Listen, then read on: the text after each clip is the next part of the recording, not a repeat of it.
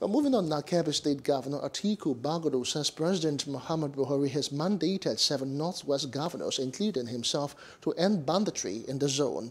Bagudu, who is also the chairman of the APC Governors Forum, said this at the continuation of a Fulani Stakeholders Peace, Security and Unity meeting held in Birnin Kebbi.